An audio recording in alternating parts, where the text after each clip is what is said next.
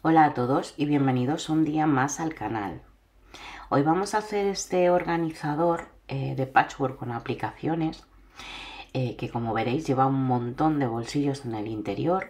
Yo lo tengo un poquito con las cosas de, de costura cuando bordo y cuando hago diferentes trabajos a mano que como veis eh, tiene un montón de bolsillos en la contraportada y todos estos bolsillos plásticos con cremallera para que podáis ver bien qué es lo que, lo que lleváis dentro.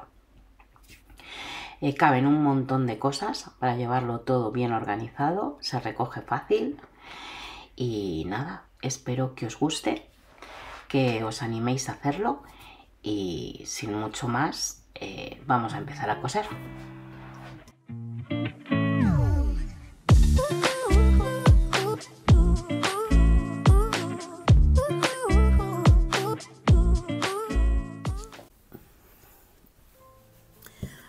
Estos son los materiales que vamos a utilizar para la portada. Ya sabéis que como últimamente vamos a ir reciclando retales. Aquí tengo un montón de retales que van a ser para los diferentes diseños de la, fachada de la casita, de la portada. Tengo aquí, he cogido diferentes colores de telas eh, y luego las iré mezclando. A lo mejor luego también mezclo con estas. Según vayamos haciendo el diseño, iremos viendo los colores que nos gustan.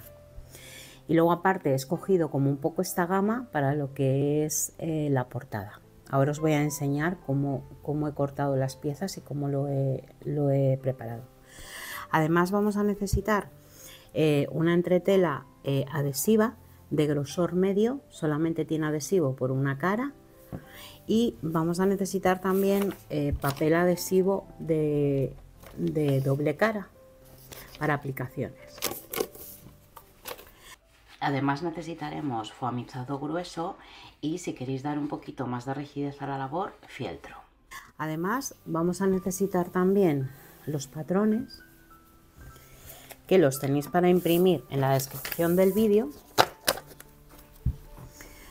Tenemos la fachada, eh, no sé si os van a llegar por partes, porque estos los he dibujado, no los he escaneado y no sé si los bordes al estar tan cercano a la orilla de la hoja se van a imprimir bien. Entonces probablemente la fachada os venga en dos partes, la tendréis que unir, luego os vendrá una como esta que es la parte central y esta de acá que probablemente también os vendrá en dos partes y las tendréis que unir. ¿De acuerdo? Luego tendréis que unir todas las piezas en una, las tendréis que ir pegando recortando y uniendo todas las piezas. En el croquis os va a venir todo explicado eh, con numerados y qué tenéis que unir con qué. Una vez que tengamos todos los patrones unidos, vamos a dibujar sobre la entretela eh, termoadhesiva o fliselina eh, todos los contornos del organizador. No es necesario que dibujemos lo que son eh, los motivos de la fachada de la casita, simplemente lo que es el, cuadro general y las divisiones generales. Muy bien, pues ahora ya sobre esta entretela vamos a empezar. Vamos a dibujarlo sobre el lado eh, que no tiene adhesivo de la fliselina. Vamos a comenzar poniendo eh, la primera pieza, va a ser la de la fachada de la casa.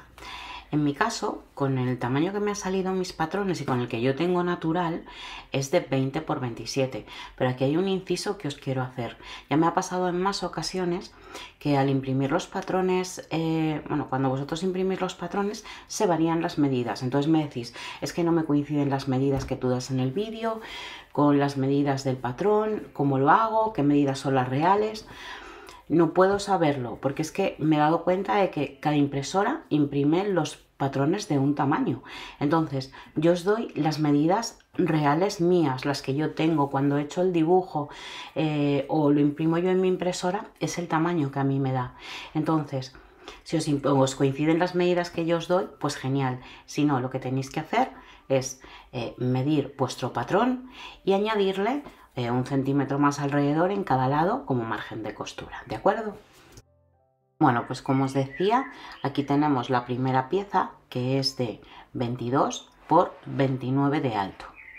Esta va a ser la primera pieza que va a cubrir lo que es la fachada.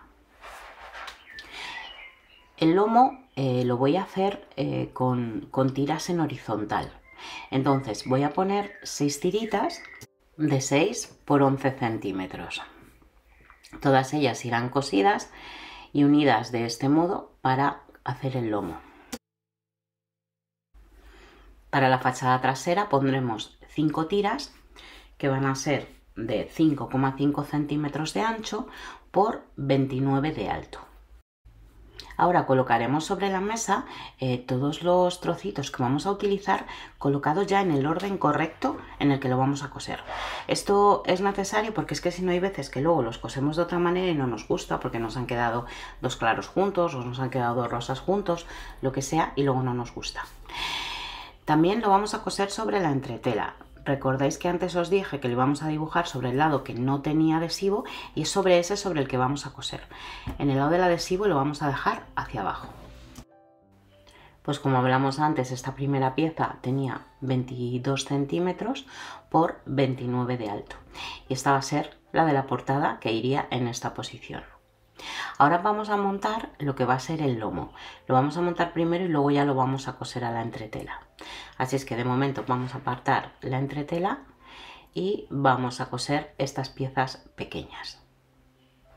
La forma de coserlas será tal cual las tenemos colocadas, iremos montando una encima de la otra y coseremos a 0,75. Esto es importante, 0,75 es el ancho de la pata de la máquina. Después coseremos esta seguida, luego coseremos esta y después esta otra. Irlas cogiendo por orden para que no se os mezcle como os comenté antes y luego el resultado nos guste y las tengáis que descoser.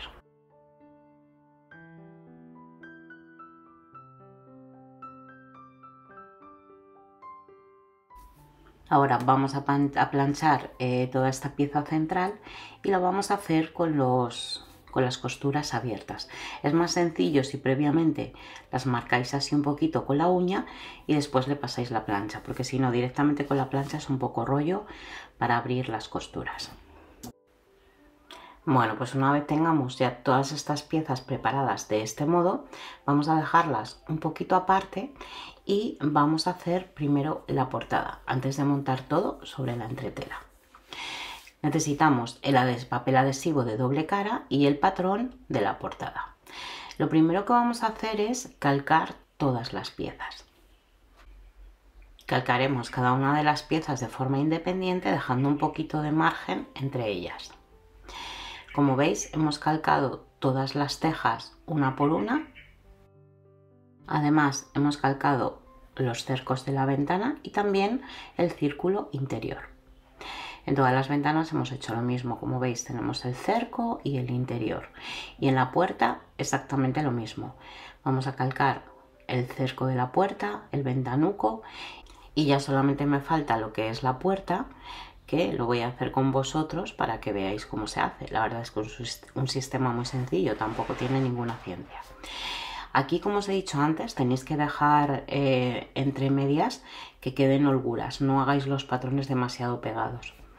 Em, es necesario un poquito de adhesivo alrededor eh, cuando lo peguemos a la tela para que luego los bordes tengan adhesivo y no se deshilachen. Como veis, simplemente eh, calcaremos de este modo y, ahora iremos recortando las piezas.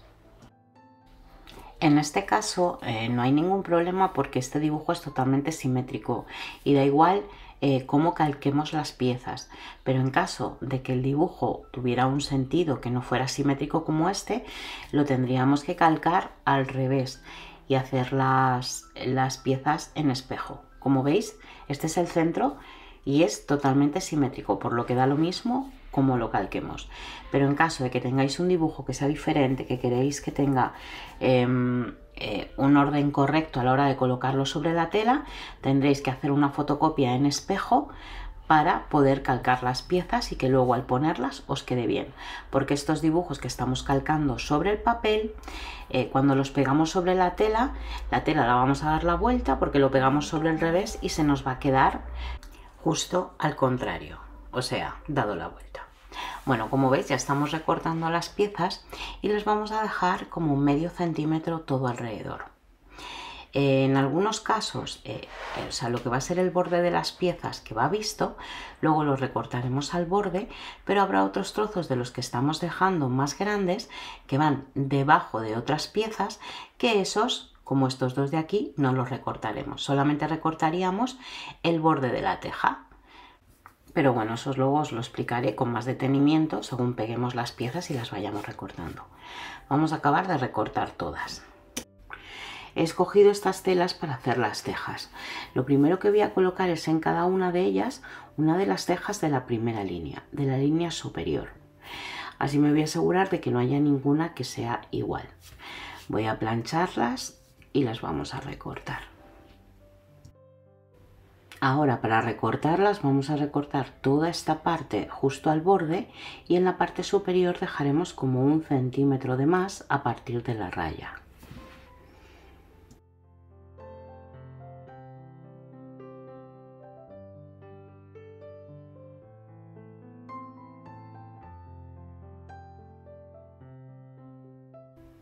Una vez ya las tenemos todas recortadas, las colocaremos sobre la mesa y vamos a coger las dos de la esquina porque estas son las únicas que son diferentes. Recordad que hay dos que están como en, o sea, como espejo, una va hacia un lado y otra hacia otro. Pues con estas de las esquinas eh, vamos a cortarla.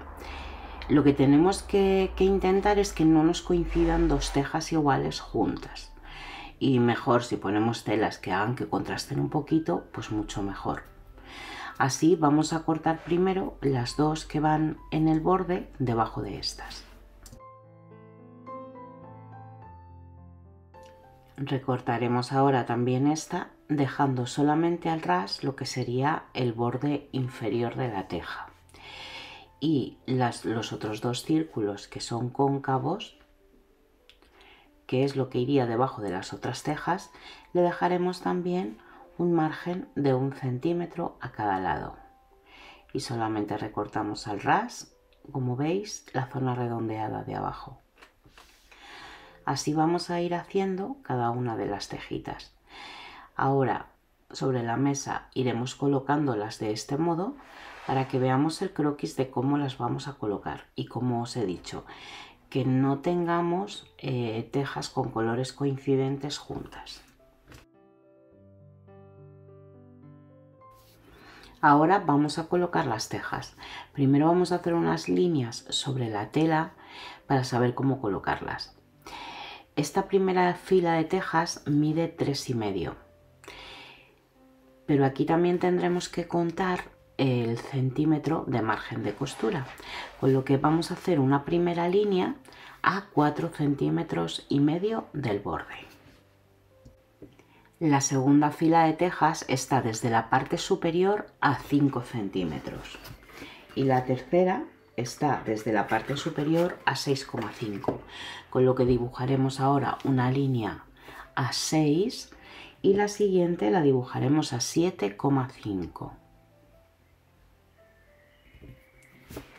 ya sabéis, de lo que mide desde la parte superior de, la línea del dibujo, le sumaremos el centímetro de margen de costura arriba.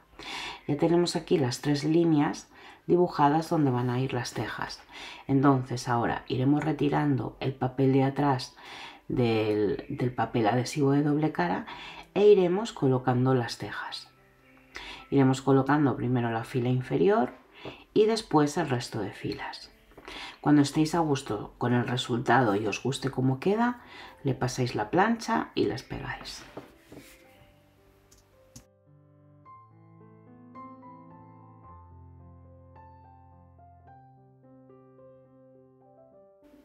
Ya tengo la primera fila colocada y le voy a dar un pequeño toque con la punta de la plancha eh, para que se quede un poquito adherido y no se nos mueva al colocar eh, las siguientes. Además, como las marcas que hemos hecho son con un bolígrafo borrable, si le damos mucho con la plancha se nos van a borrar. Aún así, ahora la siguiente la vamos a remarcar un poquito, la siguiente línea, para que al colocar las tejas no nos queden torcidas.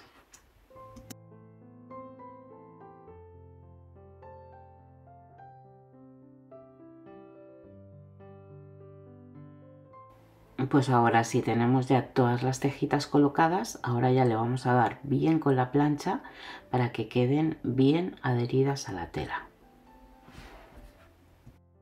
Ahora del mismo modo vamos a ir pegando todas las piezas y recortándolas.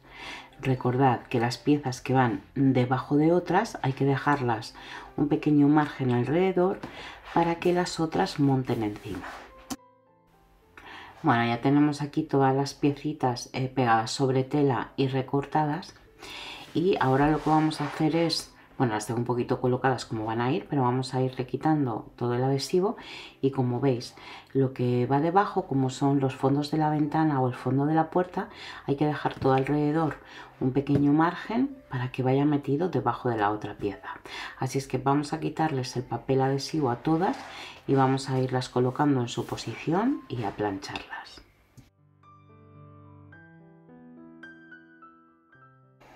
Ahora para fijar las piezas yo le voy a hacer un acolchado libre.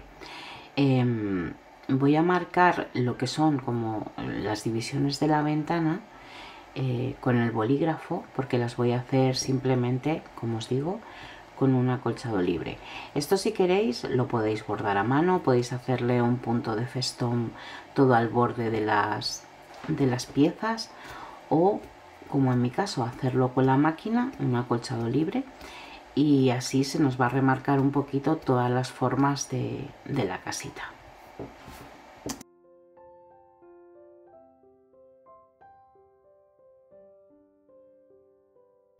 Bueno, pues aquí tengo ya eh, todo el trabajo de la fachada como terminado.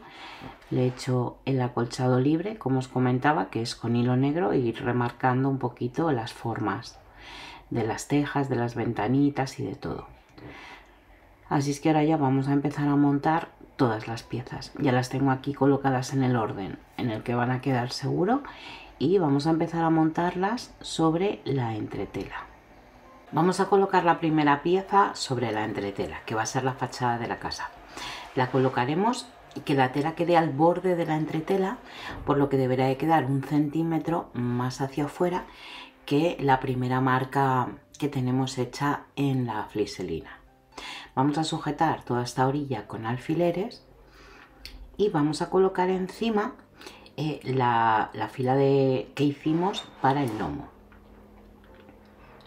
vamos a colocarla a la orilla y volvemos a sujetar con alfileres.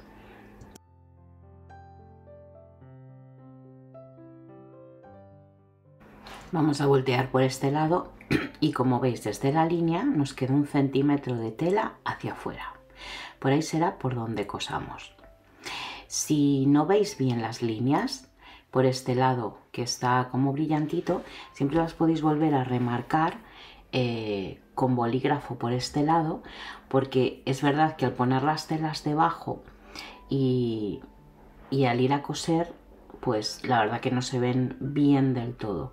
Pero bueno como os digo simplemente las volvéis a remarcar de nuevo por encima con un lápiz o con un bolígrafo borrable y listo. Y ahora que sí ya se ven bien vamos a coser la primera línea.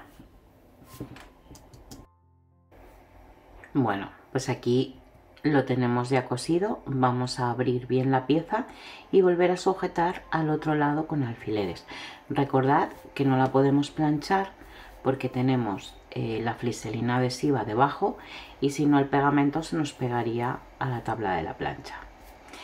Así es que nada, sujetamos de este modo y vamos a poner la siguiente línea que sería esta.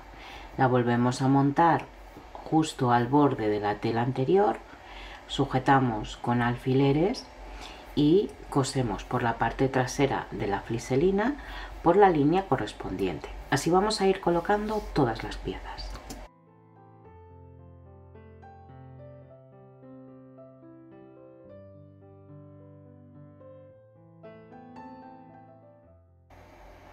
Una vez tengamos todo montado, lo vamos a colocar sobre el foamizado y ahora sí lo vamos a planchar para que ya se quede pegado eh, al estabilizador. La pieza de foamizado es mejor que sea más grande eh, que la pieza total que necesitamos. eh, por ello es mejor que la cortéis 2 o 3 centímetros más grande en todas las direcciones y luego peguéis la pieza y como luego hay que recortarla para unificar todos los bordes porque siempre al unir piezas hay bordes que van quedando eh, desiguales pues ya cortamos todo y nos queda la pieza perfecta antes de cortar la pieza la vamos a colchar daremos una costurita aquí a cada lado del lomo también vamos a colchar a cada lado de una de, todas estas piezas, tanto por arriba como por abajo. Y luego también vamos a colchar aquí en todas estas líneas, de arriba a abajo. Lo normal es que lo acolchemos en el lado donde carga la costura. O sea, si abrimos la costura hacia la derecha, pues le daremos eh, la costura de acolchado a la derecha de la costura, o sea, donde cargan las costuras hacia el lado que las hemos doblado.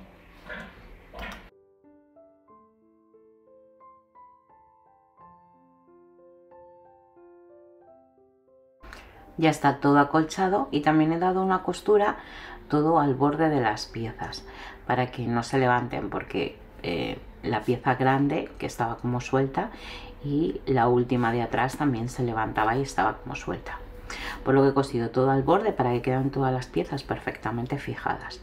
Ahora sí, recortaremos el foamizado para que quede justo a la medida de cómo tiene que quedar la pieza.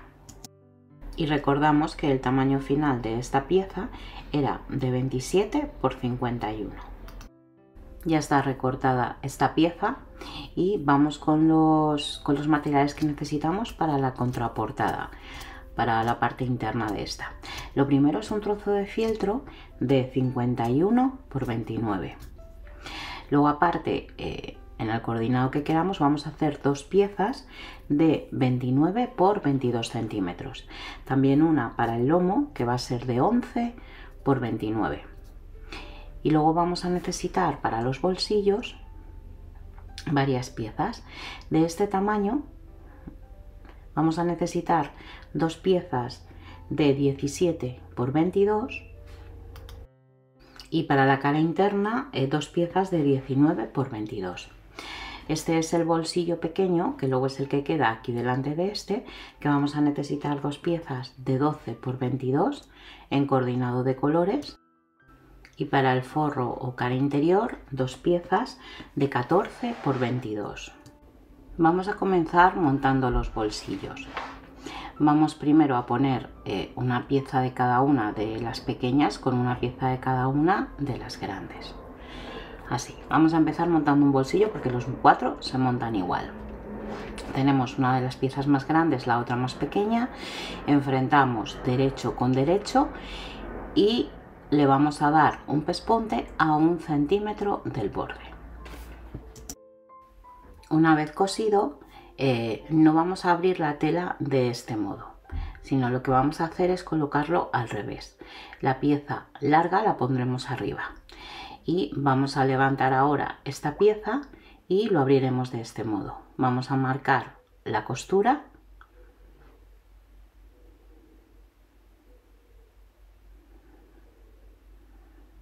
y vamos a doblar la tela más larga al borde de los dobladillos internos, así. Como veis, los dobladillos quedan hacia arriba. Pues una vez lo tengamos doblado al borde de los dobladillos, vamos a dar una costurita al borde y así ya nos quedará el bolsillo terminado como con un pie. De este modo hemos preparado ya los cuatro bolsillos que van a ir montados así. Ahora vamos a dibujar sobre ellos las líneas de las divisiones que queramos hacer para guardar las diferentes cosas. En uno de ellos le voy a hacer solamente una marca al centro y en el otro le voy a hacer varias divisiones más estrechitas, pues como para meter bolígrafos y cosas así. En este le voy a hacer la marca justamente en la parte central, como esta pieza tenía 22 centímetros de ancho, se la vamos a hacer a 11 centímetros del borde.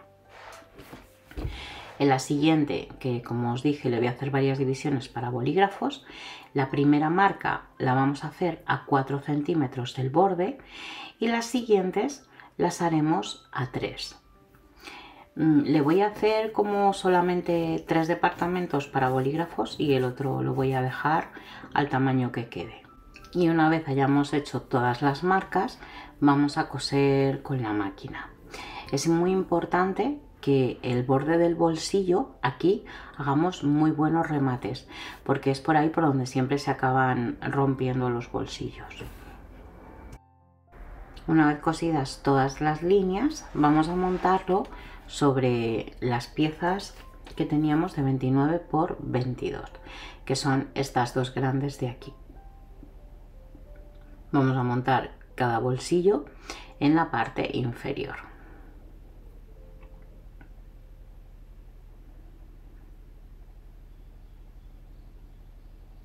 Una vez lo tengamos colocado, le vamos a sujetar todo alrededor con alfileres y le vamos a dar un pespunte todo al borde de ambos bolsillos para que se quede bien sujeto a, la pieza. Ya he cosido así todo alrededor de cada uno de los bolsillos para que quede bien sujeto. Y ahora vamos a colocar la pieza central, lo que va a ser el lomo. Colocaremos de este modo, derecho con derecho, colocando al borde de la tela y vamos a coser a un centímetro. Y uniremos también la otra pieza al, otro lado del lomo del, del organizador exactamente del mismo modo. Una vez tengamos las tres piezas unidas, vamos a plancharla con los dobladillos hacia adentro, hacia el lomo. Vamos a colocar la pieza sobre la pieza de fieltro y centrándola muy bien, que nos quede perfectamente colocada. Vamos a empezar a sujetar con alfileres desde el centro hacia afuera. Vamos a sujetar primero ambos lados del lomo estirando muy bien las telas para que no nos quede ninguna arruga.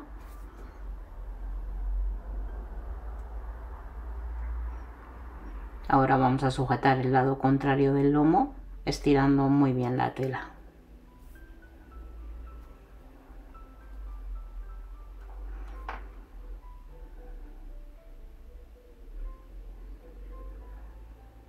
y desde aquí ya vamos a ir hacia afuera estirando bien la tela y vamos a sujetar todo alrededor.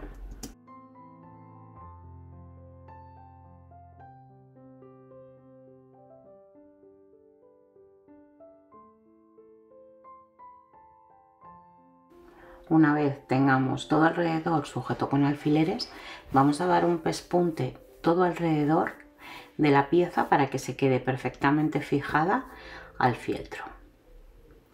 También vamos a dar dos pespuntes eh, a los bordes del lomo, pero recordar que las costuras las cargamos hacia adentro, por lo que haremos las costuras en la parte de dentro del lomo. Y hasta aquí el tutorial de hoy. En el próximo, que voy a colgar el miércoles, veremos cómo hacer las hojas interiores del libro y cómo terminar todo el montaje del organizador. Espero que os haya gustado y nos vemos el miércoles. Chao.